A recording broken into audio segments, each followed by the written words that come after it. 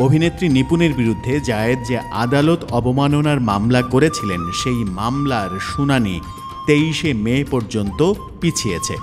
আদালতের নির্দেশ অমান্য করে চলচ্চিত্র শিল্পী সমিতির সাধারণ সম্পাদকের চেয়ারে বসার অভিযোগে অভিনেত্রী নিপুণ আক্তারের বিরুদ্ধে আদালত অবমাননার অভিযোগ করেছিলেন নায়ক জায়েদ খান। ওই অভিযোগের বিষয়ে সুপ্রিম কোর্টের আপিল বিভাগের শুনানি পিছিয়ে আগামী তেইশে মে পরবর্তী দিন ধার্য করেছেন আদালত। নিপুণের বিরুদ্ধে আদালত অবমাননার বিষয়ে করা আবেদন শুনানির নির্ধারিত দিন ছিল গতকাল পঁচিশ এপ্রিল।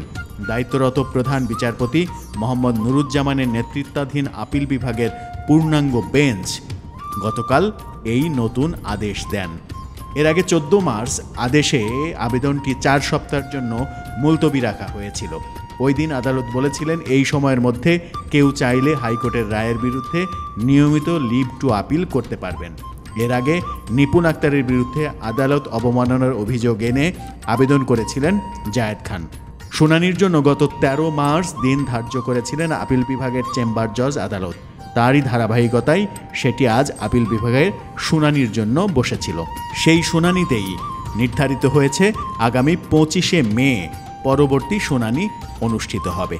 এর আগে আট মার্চ সুপ্রিম কোর্টের সংশ্লিষ্ট শাখায় নিপুণের বিরুদ্ধে আদালত অবমাননার অভিযোগে আবেদন করেছিলেন জায়েদ খান।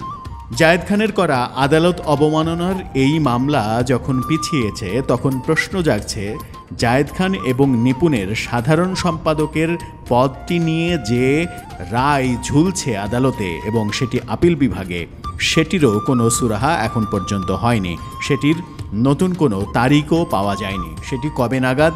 আবার শুনানি হবে। কবে নাগাদ এর সত্যিকারের সুরাহা হবে সেটি অনিশ্চিত। ঈদের আগে সে বিষয়ে কোনো আদেশ আসছে না, সেটা এক প্রকার নিশ্চিত করেই বলা যায়। ঈদের পরে কবে নাগাদ সেই মামলার শুনানি হবে, সেটি এখন দেখার বিষয়। আপনার মতামত কি?